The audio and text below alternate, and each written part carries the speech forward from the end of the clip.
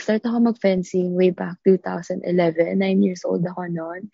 And um, after like a month, nag-competition ako. First competition ko. After nun, nakapasok na ako ng, ng UE varsity as a bar- varsity player. After two years, grade 8 ako, um, nagsistart na ako sumali sa mga national opens. Tapos, ayun, nag, nag, nagta-top 4 ako. Kaya, ayun, nakapasok ako ng national team. Um, I think, 15 years old ako. And, ayun, yun din yung first SEA Games ko. Yung year na yun na nakapasok ako ng national team.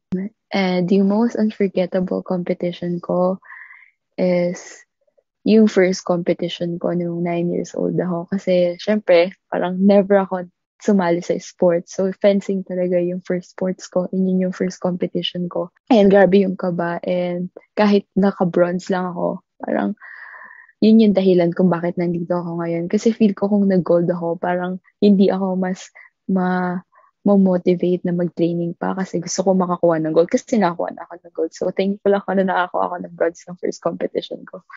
Actually, madami akong unforgettable na competition eh. Pero isa din doon yung first SEA Games ko kasi I was 15 years old back then and hindi hindi ko expected na makapaglaro ako ng SEA Games and I was not planning to join SEA Games back then kasi feel ko sobrang bata ko pa and all. And victories, yun nga, kahit hindi ako nag-gold, nag-silver ako, pero first competition, first SEA Games ko naman yun, kaya sobrang overwhelming. And next is, of course, yung nandito na ako, yung nag-top 16 ako sa world noong 2019, and yung nag-number 1 ako sa Asian Under 23 noong 2019 din, and um, and yung last two competition na hindi ko talaga makakalimutan is um, yung nandito na ako sa US, nakapasok ako sa top 4 ng NCAA and I went undefeated po sa first round. Tapos, um, nung nag-second naman ako sa North American Cup Division 1 po dito sa US, which is um, senior team po nila. So, sobrang thankful talaga ako na nakapasa ako doon.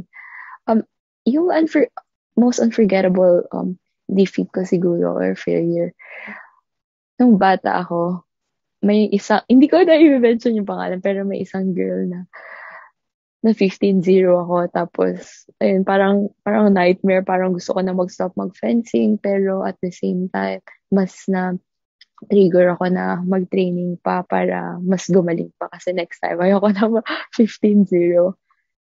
What do I do now other than fencing? Um, Siyempre po yung pag-aaral ko kasi nandito na ako sa US. So, gusto ko talaga na, um, I mean, mas, nafe-feel ko na mas greater future ahead from me. And gusto ko na pag-iihan talagang mabuti para if ever, if I have a chance to, um, to, syempre, para mag, makapagtrabaho dito, I mean, why not? Kung yun talaga yung plan sa akin ni Lord. And I think yung fencing, sobrang malaking factor talaga siya kung sino ako ngayon. Kasi,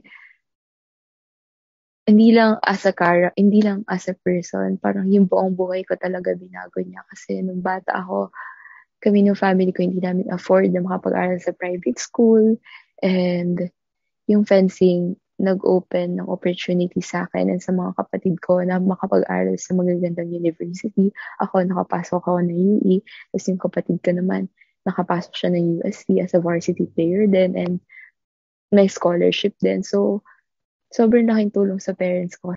So, yung fencing, um, natutunan ko to keep yourself on the ground despite of all the achievements, despite of all the blessings that I had before and that I'm getting right now. Um, natutunan ko na maging thankful even sa maliliit na bagay kasi from nothing to something ako eh. So, parang lahat pinagdaanan ko um, siguro yung payo ko lang talaga is um, be patient enough kasi nga, syempre, with the COVID situation, with the pandemic, um, hindi natin sure kung kailan magiging normal yung lahat. So, um, let's use this time to improve ourselves and magtingin pang maigi and ayun, parang kaya natin talagang um, palakasin yung fencing community sa Philippines by helping ourselves first, of course. Kasi syempre, um, pag, kapag ini-improve natin yung sarili natin, makakatulong tayo sa ibang fencers na gumaling din sila, ganun. And, ayun, give and take lang ng skills and talent. So, yun po. Thank you.